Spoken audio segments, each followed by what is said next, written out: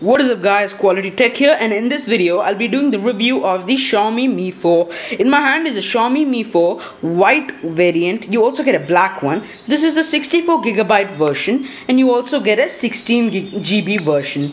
So uh, this phone is uh, costs around 20,000 rupees to get it home from through online. So now let's take a look at the hardware positioning. So in the top you could see a 3.5mm jack and an IR blaster. An IR blaster can be used to control your television and air conditioner just in case if you lose your remote. So in the left side you could see the micro, micro SIM card slot and in the right side there is the volume rockers and the power button. So below there are the precision grilled speaker port and in the left side there is the fast charging USB port. So uh, it supports fast charging version 2.0 in the sense in half an hour you're gonna get to now to 60 percentage. So in the front you could see a 5 inch full HD display. And in the top left hand side corner there's the Mi logo. Then sensors.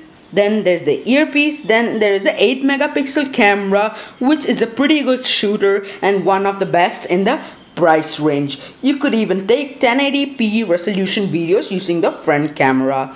And below are the capacitive buttons. And in the, uh, the back side of the device, you could see the uh, microphone. There is the 13 megapixel camera with the Sony lens and there is the flash. And below there is the Mi logo. So the camera behind is actually great. You could take 4K videos at 30 frames per second. We will get into detail later in this video. So this device is running on MIUI 7. Uh, and this device is running on Android KitKat and is expected to get the update to Marshmallow 6.0.1 by the end of this year. And you could see that this device runs really smooth. This that is because of its 2.5 GHz quad core processor with a Snapdragon 801 chipset and a 3 gigabytes of RAM. So you will have no problem running big fat Momo apps. So then uh, taking a look at this device, this uh, device's battery is a 3080 mAh battery. In the sense in high uh, or heavy usage it will last a day completely. And if you are a moderate to light use, user then you will uh, get it for around two days. So let's take a look at the camera